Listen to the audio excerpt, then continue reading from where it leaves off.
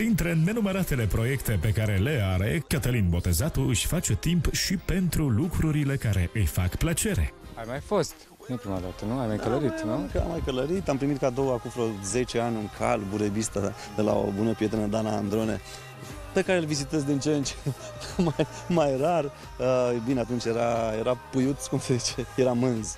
Și, uh, dar am mai făcut ședințe foto. E adevărat că în, în ultima perioadă, pentru că am niște probleme la spate, nu am mai călărit și rar ori mă urc pe, pe cai atunci când e, e nevoie. Dar dacă trebuie, why not? Ron e un cal uh, extraordinar, e foarte cu minte. Se simte în, în largul lui aici, în natură, pădurea asta e superbă, iar uh, un shooting foto pe un cal este unul dintre cele mai frumoase shooting foto pe care le poate realiza cineva, pentru că uh, cai, în general, sunt foarte frumoși, sunt niște ființe foarte mișto, din toate punctele de vedere, care, uh, la urma urmei, uite, vezi că te, te, te mângâie, te pupă, uh, că la urma urmei uh, ne fac viața frumoasă, cu ajutorul lor uh, ne, ne distrăm, ne relaxăm, ce poate fi mai frumos decât echitația. Totuși, deși aparent este fericit, acesta are și momente în care gândurile triste strică toată bucuria. Recent a postat un mesaj cu tremurător pe o rețea de socializare care începea așa.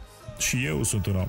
Chiar așa. Cine sunt eu? Sunt doar un om ca toți oamenii. Un om cu calități și cu defecte în armonie. Un om care s-ar putea mândri cu câteva fapte mărețe, dar totodată ar trebui să se simtă rușinat de anumite fapte care nu-i fac cinste. I used to rule the world. Seas would rise when I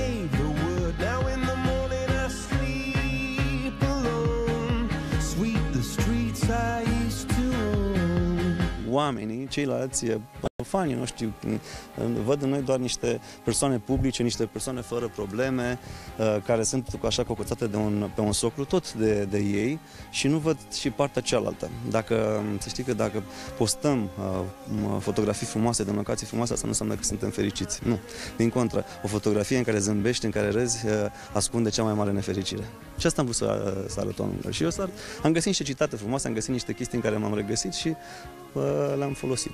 Poate că nu este în totalitate fericit, dar celebrul Cătălin Botezatu are cu siguranță același succes răsunător. La ce să ne așteptăm pe viitor? Ce mi-ai făcut tu vara asta? Te-am văzut pe litoral, în vacanțe. În care mai e viața ta? Multe lucruri. Am lansat, tocmai ce am lansat o colecție, Masai by Cătălin Botezatu, cu influențe Masai, la festivalul de modă Summer Fashion Festival. Am avut o groază de prezentări atât în țară cât și în străinătate. Pregătesc noua colecție pentru New York, săptămâna uh, de la New York, apoi la Viena și nu în ultimul rând la Paris, unde voi avea două prezentări, una la Ritz și una la Ambasada României din Paris. Drink for me.